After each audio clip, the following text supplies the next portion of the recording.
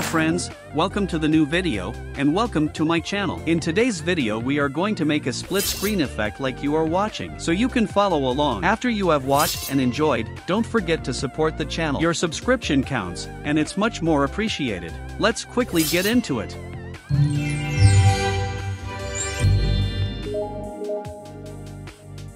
For the latest version of Filmora, check the description. Having imported your files, drag and drop the first video into the timeline. The video that's getting in should be below. Note, we are going to have three keyframes on each video, and we will start with the middle one. Tap the video above and move 2 seconds later from where your effect is to start. Set that keyframe minus 164 on the x-axis. Go to Mask and select the Single line. Move it to the edge. Add a mask keyframe, exactly where the first animation is. After 2 seconds, move the mask, from the preview screen, move it where you want your split to be.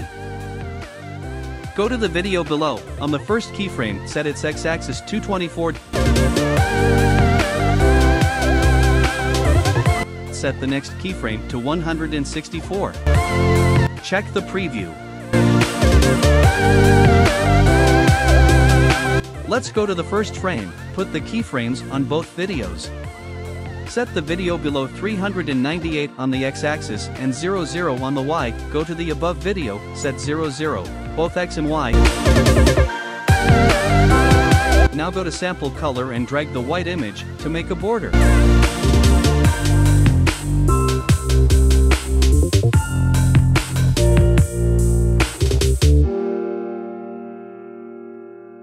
Move your playhead to the middle keyframe.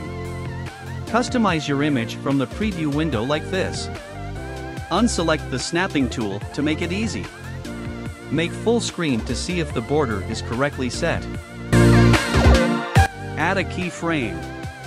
Move to the third position of keyframe, add, and move your image exactly to where the split is.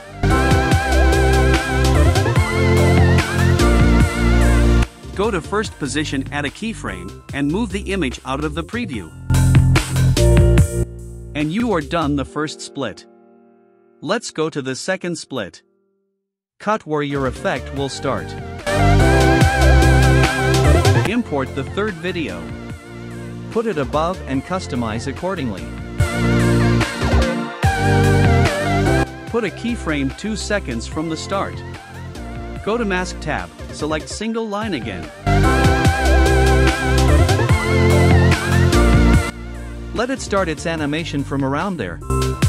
So add a keyframe there and after a second, add move it to the very point of the actual split.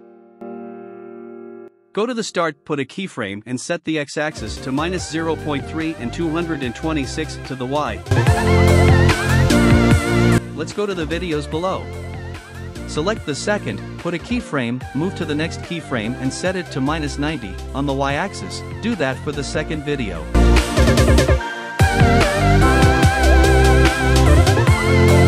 Then drag and drop the white image.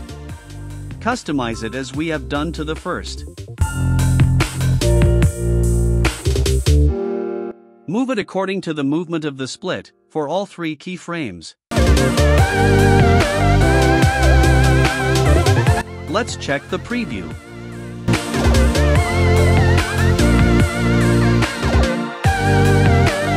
That's it friends, if you like it, give a thumbs up and let's meet in this next video on the screen.